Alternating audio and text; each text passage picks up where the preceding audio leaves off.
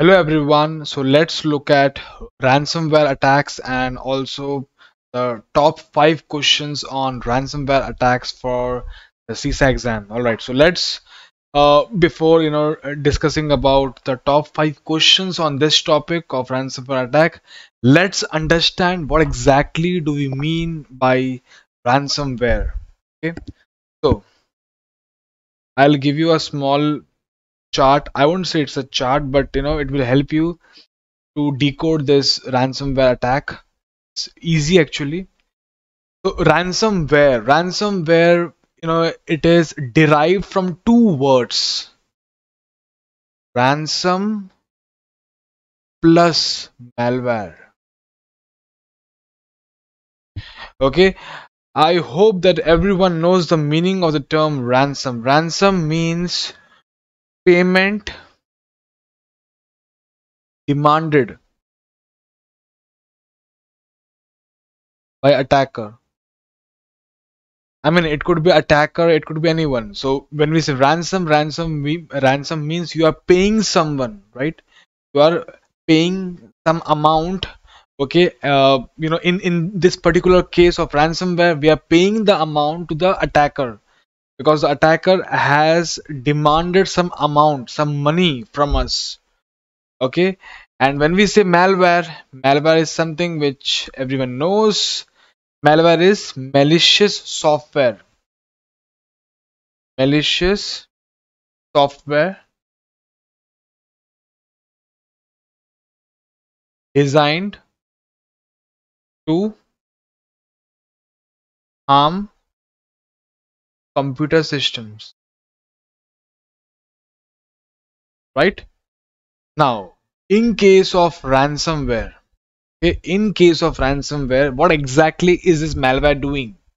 Okay in case of ransomware what exactly is this malware doing? It encrypts.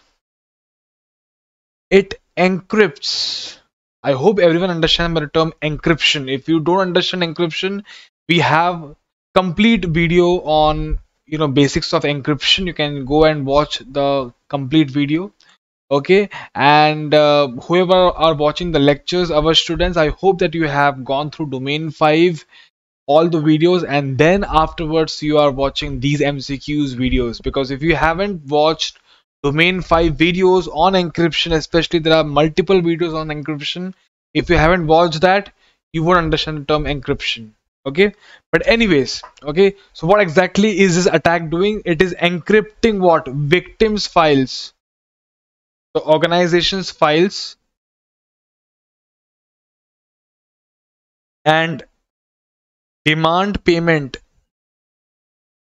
Demand payment in exchange. Demand payment in exchange of decryption key.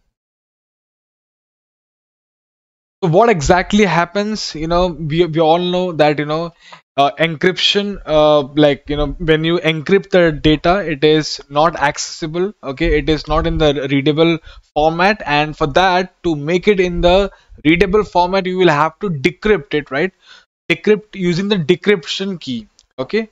So here what exactly is happening is that okay? The attacker is encrypting the victim's files and then he's asking okay i want some money. I'm demanding some money. You just pay me the money and i will give you the decryption key and i will give you the data back. This is what the attacker is demanding. All right so this is what ransomware is all about. Okay? Now things are not yet over. Okay? Okay. So we have preventive measures as well as corrective measures for ransomware. We have preventive as well as corrective measures okay? So uh you know the preventive measures is same you know which which which is which is common for any kind of attack you know not specifically to ransomware but for any kind of attack preventive measures or whether it's corrective measures honestly it remains the same okay, but still we will discuss it and I'll also give you few things from the uh, angle of ransomware. Okay all right so let's look at some of the preventive measures but you know as what we ha- what i have already mentioned that you know these these things will remain uh, common for you know any of the attacks okay? So uh, you know the preventive measures you know you can see here. Just a second. Yeah operating system uh, operating system software up to date with latest security updates and patches. Okay whether it is your os or whether it is your applications uh, software you need to uh, keep it up to date with all the security updates and patches uh, updated you know updated anti-malware antivirus. Uh, you know you have to be very cautious of the phishing mails not to open any uh, i mean you have to uh, beware uh, you know before opening any attachments you have to see you know who has sent that mail from where you have received the mail. You know uh, you have to be you know cautious about these things because you know when we say phishing mails most of the times these kind of uh, you know uh, ransomware attacks happens through this route okay? Then we have multi-factor authentication firewalls ids ips and all those things so these are the common preventive measures okay? Then we also have the corrective measures and questions in the in the exam from ransomware you know? It will mostly be not from the angle of the preventive but from the angle of the corrective. But sometimes this corrective uh, you know measure might become preventive also. We will discuss about that okay so when we say corrective we all know uh, number one example of corrective control being backups. Why do we say backups are corrective control? Is because backup is not preventing.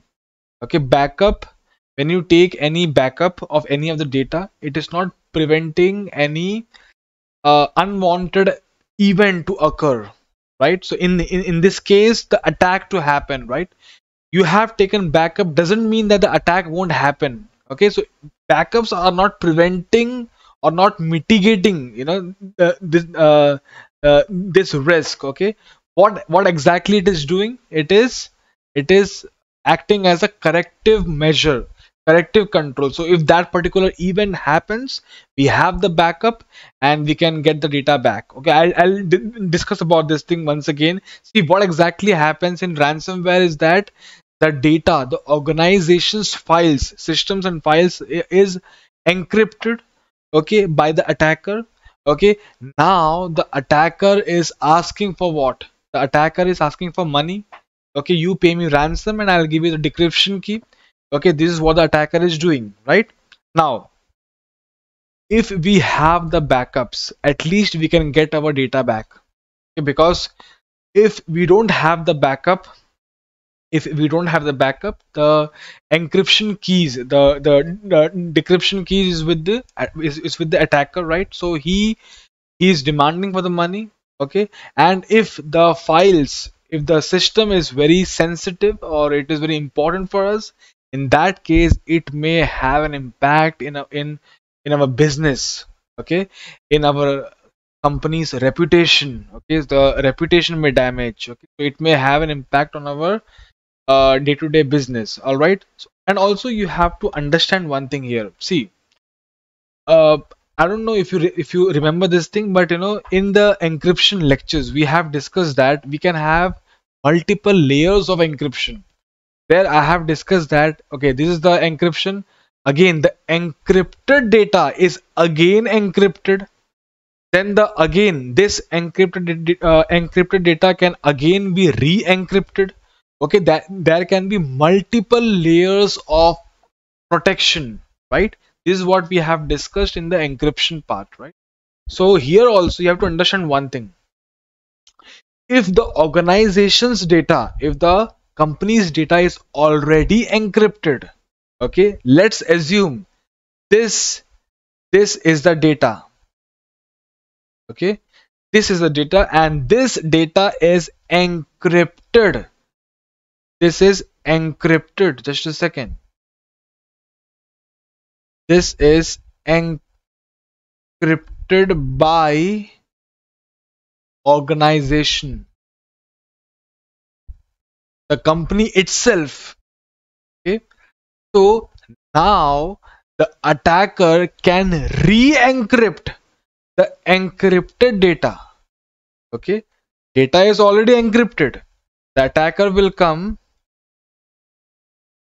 and he will put his layer of protection on already encrypted data, right? So he has done what? He has put his layer of encryption, re-encryption, right? Re-encryption by attacker, by attacker. All right. Now you have to understand one thing. If this particular event happens, okay. Now understand. If you have the backup, okay if you have the backup if the company is having the backup the company need not worry about paying any ransom at all the company need not even worry about paying any ransom. The reason is because the reason is because even if even if they have they have our data the data is already in the encrypted format right? So they cannot access our data. Okay even if they have done the re-encryption part okay okay you can take our data no problem no problem not an issue. Okay why? Because because the data is already encrypted in the first place itself by the company right?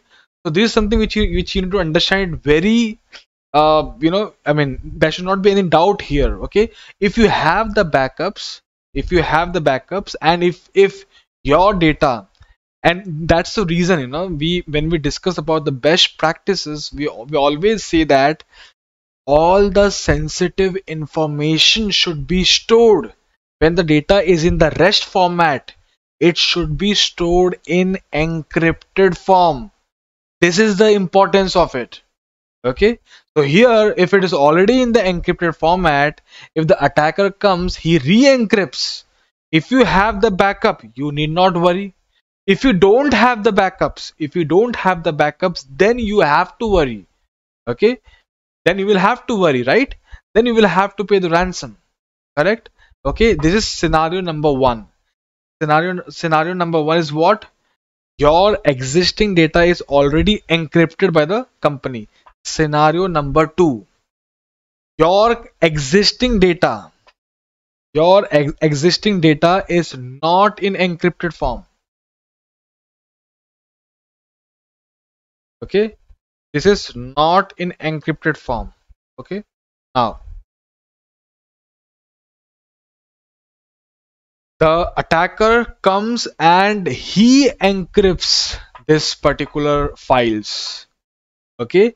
Now you have the backups. But still backups are of no use. Okay? Understand one thing here. Okay? Backups will be useful for you to you know continue a business. Okay? So that your business doesn't have any downtime but that it can help you. Okay because if if these data were sensitive data and if these data were in uh, were not in the encrypted form okay it is not in the encrypted form by the company okay the, the company didn't do the encryption okay. The attacker comes he places his encryption here okay. Now if you have the backups okay it can help you to some extent okay definitely it can help you to you know recover your business okay? Which we which we discuss in the disaster recovery and all those stuff okay? There it can help you but you have to understand one thing okay? You will still have to pay the ransom. Why? You will still end up paying the ransom. The reason is because these are the sensitive data and you know if the attacker is having access here to the to the, to the data the, attackers have access to the data but in the first case the attackers were not having access to the data. Okay? The attacker just uh, in the first in the in the first case the attacker just they have placed their own encryption. Okay?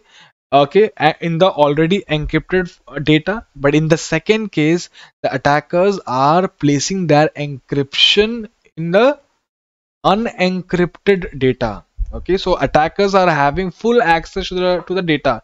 So they can you know they can uh, try to you know uh, say that okay if you don't pay us the ransom we will you know leak out the data to the public. Okay so this is something which they can they can uh, try to uh, you know uh, uh, tell to the organization and they can uh, they can demand the ransom right okay so this is I, I hope you have understood the two scenarios. Okay the backups are there but backups will be more beneficial in the first case. If you have the encryption mechanism right? If you have both mechanisms superb right? The attackers even if they have attacked they won't be able to do anything you know uh, anything bad for the company. Okay i hope this makes sense. Okay one more thing which comes under corrective control uh, you can say corrective control you can even say it is it has a preventive control. Um, is we, we always uh, we, we have lots of questions on this topic as well. I, you know I, I have I have plans to make videos on this topic also which is isolate or quarantine the infected system the infected computer systems from your network to prevent further spread. Now this is common for any kind of you know uh, virus or worms or you know uh, uh, malware that you know whenever any system is affected the first thing what you do is that you try to isolate that particular system from the network so as to prevent the spread of the malware to the to all the systems in your network. Okay so here this is also you can say one of the preventive measures. Okay or you know so uh, you can say as a corrective measure also but actually it's not a corrective measure. We say corrective is because the incident has already happened. The security incident has already occurred and now we are taking the steps. Okay now we are reacting to it.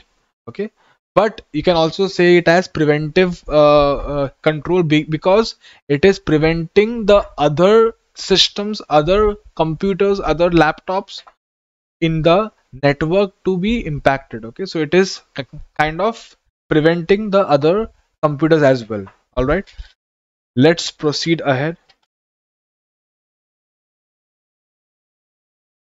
All right so i think i have discussed everything here. Uh, all right so whatever things you have to know uh, you know uh, for the ransomware everything we have discussed. So let's start solving the top five questions on this topic of ransomware.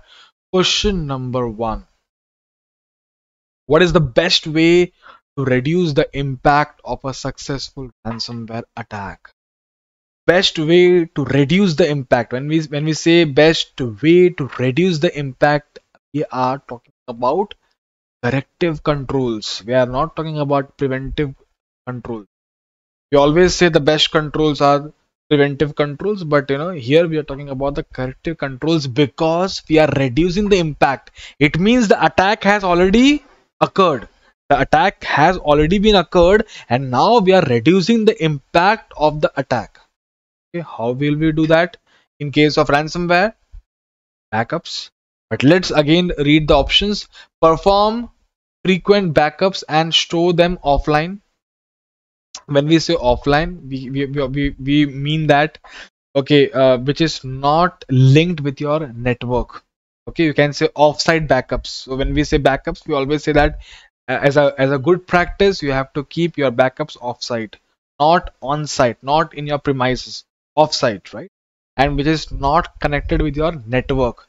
Because if one system is impacted with ransomware it can spread across the network. It may even you know uh, uh, you know uh, encrypt the backups also. The attacker may also try uh, you know if they get the access to the backups if the if the backups are stored on premise okay the attacker may uh, you know spread the uh, spread the malware and you know even they may encrypt the backups also. So that's why we say that the we, we say we say that per, perform frequent backups and store them offline. Option number b purchase or renew cyber insurance policy. It's good because insurance is also what? Corrective but again you know when we say ransomware backups. Backups are the best you know there is no other thing. But even insurance is what? Insurance is also a corrective control. Why insurance is corrective control? Because insurance taking insurance is not preventing the incident right? It, it can only help you correct the the incident. I mean it will help you to recover the losses. All right? Include provisions to pay ransom in the information security budget include provisions to pay ransom. You are saying that okay let's put a, let's put a point saying that okay we uh, you know in, in these cases we'll be ready to pay ransom. Okay but understand one thing you know even if you pay ransom the attacker see it will only motivate the attacker.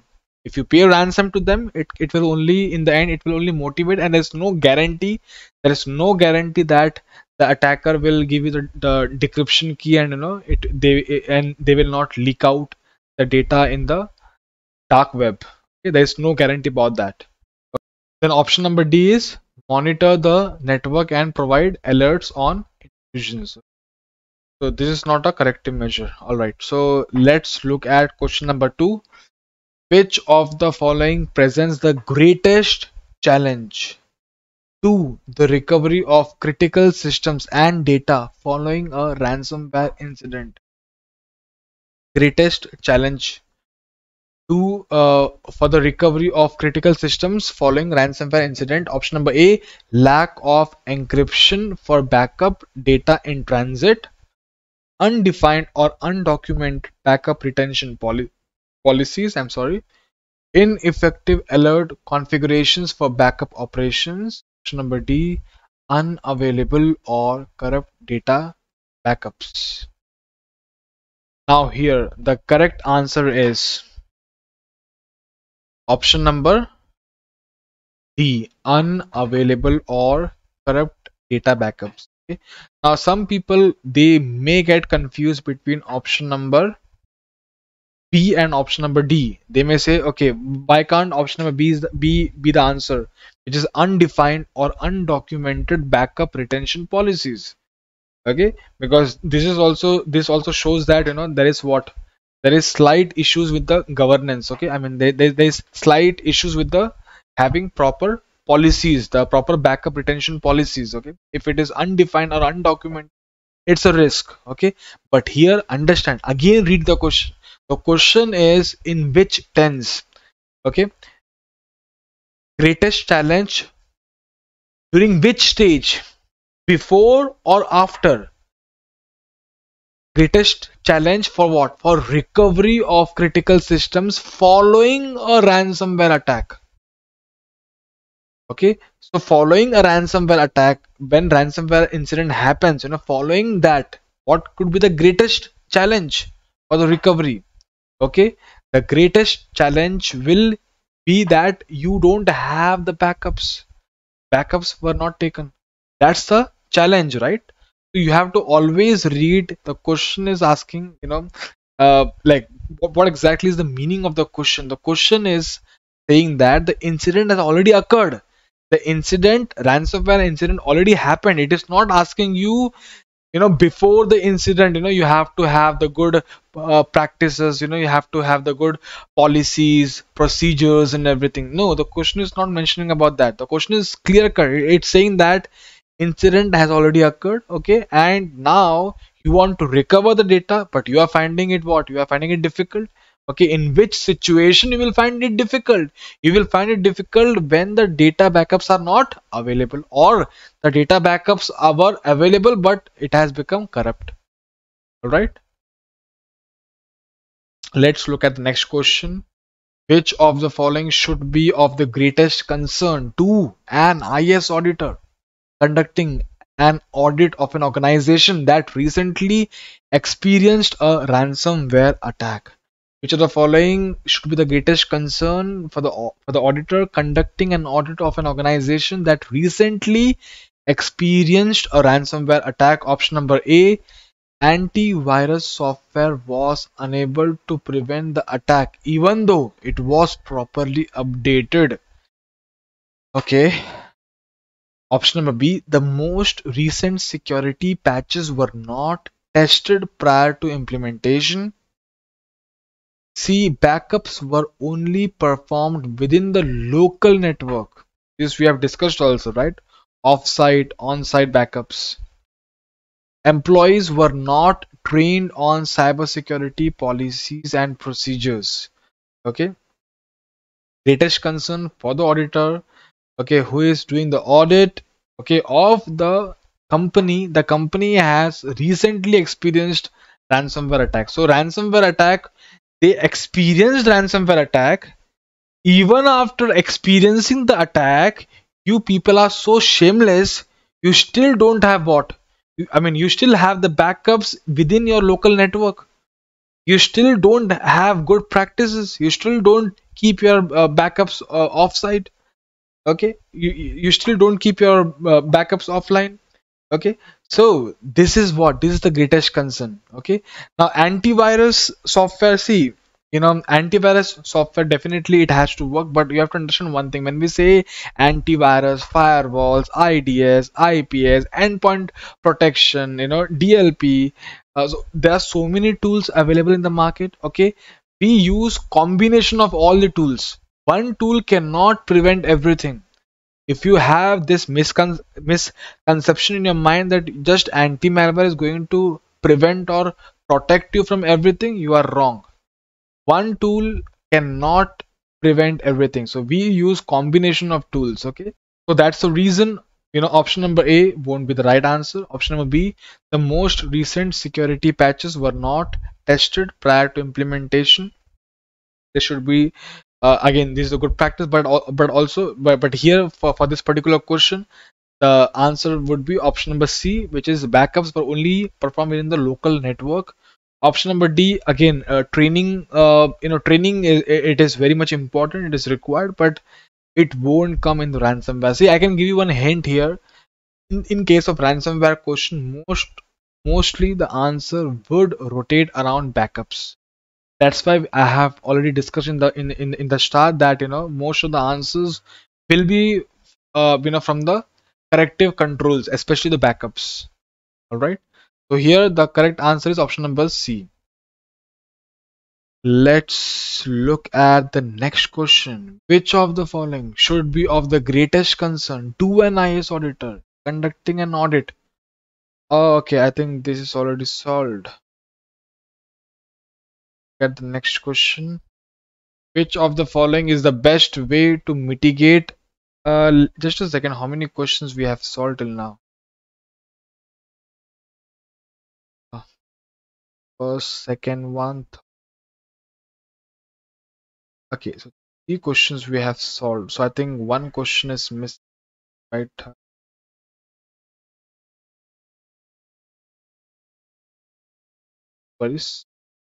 let's look at uh, the fourth question which are, which are the following is the best way to mitigate the impact of ransomware attacks. Mitigate mitigate. Mitigate doesn't mean doesn't mean here preventive because mitigate what? Mitigate the impact. When we say impact it means attack has already occurred. Now we are reducing the impact. Okay? Backup uh, backing up data frequently. That's the best way to mitigate the impact of ransomware attacks. Right uh, let me look at the next uh, question which is fifth one. All right so let's look at the next question. Fifth question which is the following is the best way to ensure capability to restore clean data, uncorrupted data, full data after a ransomware attack, purchase cyber insurance. Just purchasing insurance would ensure that encrypt sensitive production data, perform integrity checks on backups. Option number D, maintain multiple offline backups. Answer is option number D, Maintain multiple offline backups.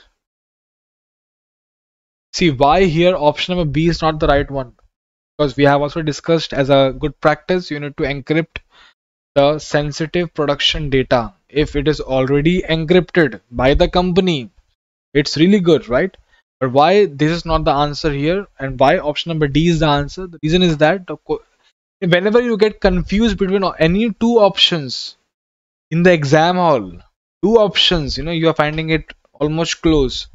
Okay you need to again go back to the question read the question two to three times you will definitely find some hint. Okay this is what i do and it works.